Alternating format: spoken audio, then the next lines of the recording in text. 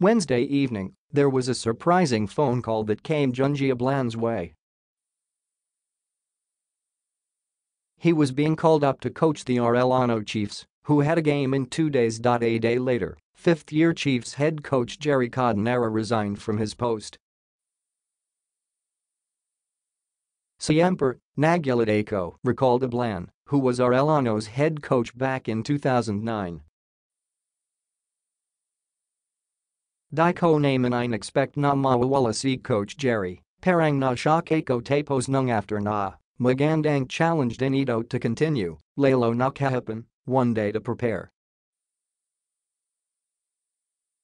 Hindi ko kilala young ga players, sa rotation ga di ko alam sino ipapasok ko dito so talagang nakakatakot. It has been nine years since Ablan was with the seniors basketball team of Arellano. And with just one day to prepare for the CSB Blazers, Ablan did not preach Xs and Os to the Chiefs.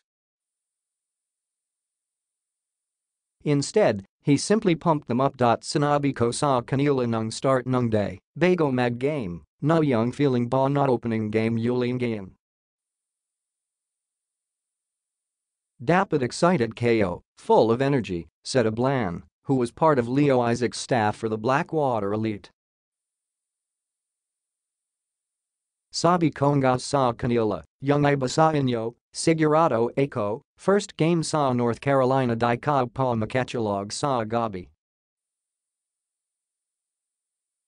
Ibang feeling ba.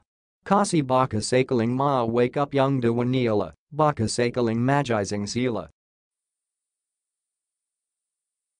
Puro motivation Palangkasi wala talagang time to prepare. However, the Chiefs received a beating, 73-89, to drop them to a 4-8 slate.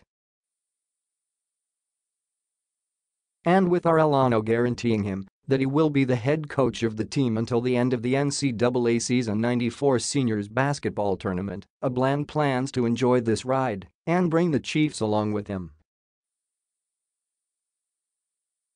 Siempre excited, Saka Masaya Kasi Dito Namanako Nag Start NG Pag Coach Ko Sa NCAA